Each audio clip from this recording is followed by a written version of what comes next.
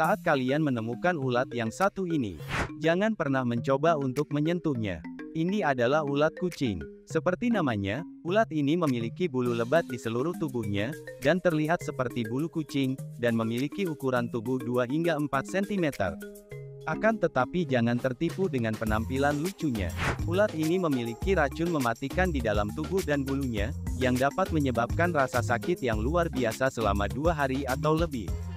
Efek dari sengatan ulat kucing ini, dapat menimbulkan rasa terbakar di sekujur tubuh, nyeri di dada, mati rasa, sakit kepala, dan gangguan pernafasan. Racun tersebut mampu menghilangkan nyawa manusia, jika manusia tersebut memiliki alergi terhadap sengatan serangga. Ulat kucing ini dapat kalian temukan di Florida, Amerika Serikat.